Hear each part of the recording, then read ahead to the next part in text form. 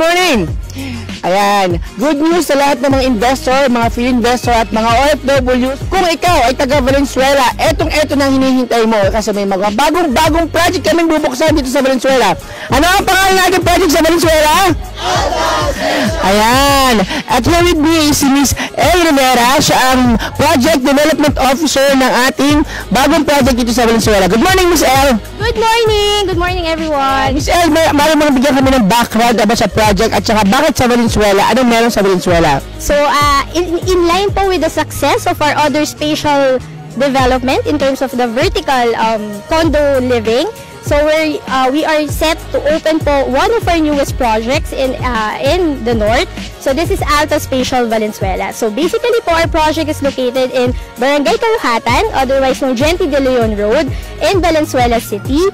So it's right, uh, it's very accessible po to our buyers and to our sellers since um, there are also public transportations and other um, immediate um, points of transportation naman po here in our site. So we're standing actually on the actual site natin. It's yet to be developed, but it's actually a 4.9 hectare property. Wow, Yeah, it's a 4.9 hectare property.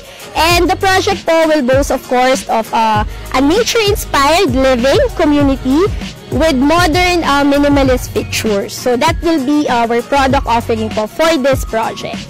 Our immediate access will actually be, um, one of our major points will be uh, the MacArthur Highway. This is the main, uh, one of the major highway, highways po traversing Camanava, which is Caloocan, Malabon, Nabotas, and Valenzuela. So this is one of the major highways. If you come po from EDSA, immediately po from SM North, that will be one of your major um, uh, points of entry. The other option will be, of course, the, the, the yung dinaanan po natin kanina, which is the newly opened uh, NLEX Smart Connect. So that will be the Karuhatan link.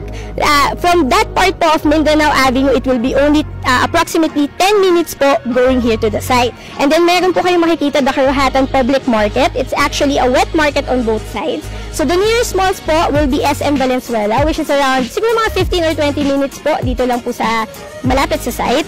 We also have uh, the nearest hospital, the Valenzuela Medical Center, which is kung nakita nyo po yung may 3S kasi dyan, nakita nyo po yung 3S. So it's basically a mini city hall provided by the city of Valenzuela. So from there, meron na pong fire station, we have police station, we also have the hospitals and the other social services. Yes, we have schools. We have uh, Our Lady of Fatima University.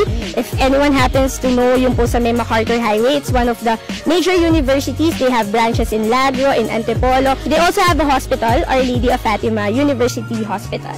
We are also um, introducing the spatial standard concept which is the 2BR um, units natin um, under the spatial brand. So this is the standard two-bedroom. The property itself is not flooded because when you observe, ano po ba ang pangalan ng project natin? It's Alta. Yeah. So when we conceptualized Alta, uh, meaning kasi ng Alta is refers to the altitude of the property. So, hindi po binabaha ang project natin. For our open space, um, we are targeting at least 60% of our, of our project is um, open space. As you can see naman po, it's kind of forested. And then, um, kasi the, the trees na nakikita nyo po here on site, we are actually incorporating it. We, we actually move uh, around it si, kami po yung nag-adjust para sa project so that we can at least maintain naman po the, the, the feel of the project. So we at least ano po, try to maintain as much as we can we can on the trees. We involve it. Kaya po namin nasabi na we are targeting for a nature-inspired community living. It's like living in the city but you're actually parang in, in, in a very relaxed space. All of them will be around 10 stories each. So, uh, per floor, it's around mga 23 to 25 units per floor, estimated. Yes, low density pa rin. In terms of rental potential, may possibility ba itong rental potential? Um, yes, because actually po, uh, yung Our Lady of Fatima University, maraming foreign uh, students coming in. Kasi because the school po is known for its medical courses. So, because of that, um, we also look into that position. But as far as, of course, the spatial brand is concerned, we're of course targeting entry levels, the, the you know the the starting professionals, yun po ang target natin. Just just as, uh, the same po for the other stations. So yun po yung ano natin, mga entry level, mga starting families na na-observe natin for this. Yun po ang target natin for this. Um, public transportation po for our project is uh, kung galing po kayo ng EDSA, yan, Mandaluyong, EDSA, Makati, Alabang, You can ride uh, a direct bus, which is Malanday. Diretso po yun. Dito na po ang baba nyo. You also have options like in or uh, actually po in meron na kasing nag-start na po yung UV Express dyan. So meron na pong UV Express na nagsuservice from Trinoma to our Valenzuela Town Center which is the City Hall area. So yun po yung route niya. So it's vice versa. From City Hall to, to Trinoma and then the other way around. Nandito ako ngayon sa Valenzuela, sa Karuhatan mismo.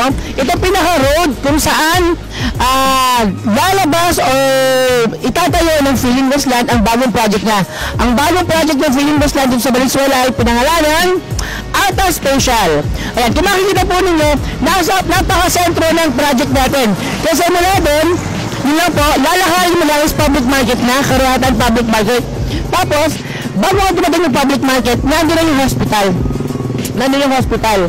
And then nakita naman, Malinta Monumento, malapit sa Caloocan, Malabo, Navotas, yan. At saka syempre Bulacan. Sa kanan ko, yan, ito yung 4.9 hectares project ng Philinvest, yung Alta Spatial. Yan. At dito magsisimula, dito magsisimula ang 4.9 hectares project ng Philinvest, yung Alta Spatial. Mula rito, papunta doon yung 4.9. At kung makikita mo siya ha, isa sa strength na ginagawa uh, sa, strength ng Philinvest is minamaintain niya yung berde. So sa kanan ko is residential siya, residential siya. Kaya ang binibigay ng special is yung feel na residential, residential component ka pa din. Yet, ah, nasa city ka. Yan. Tapos, ang mga sino makakapag-invest dito? Siyempre, yung mga karating lugar. Lahat ng taga Norte pwede kayo mag-invest dito. Yung mga taga Valenzuela, taga Bulacan, taga Malabon, na naghahanap ng bahay, ng bahay o kasi mag-asawa kayo, gusto mo mag-invest ng bahay, wala ka na makita sa Valenzuela kasi congested ka na, eh yung perfect sa'yo. Kasi yung binibigay ng special project na to is space. Actually, you are buying a two-bedroom unit sa cost lang ng studio type. Kasi we're giving 32, points, uh, 32 square meters na property. Ang cost po niya is studio type, yet dalawang quarter na ibinibigay namin sa'yo. Pero hindi siya congested. No?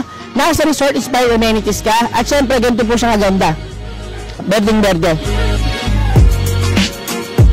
Yan. So sa mga mag invest maganda lang po dahil successful po kasi ang One Special Pasig, mga special project natin sa regional sa Vis- Visayas Mindanao, mismong dito sa city, sa Manila, sa Valenzuela, at sa Commonwealth, marami po tayong special project. At first ever project po ito na mid-rise, resort inspired amenity, dito sa loob ng Valenzuela Karuhatan.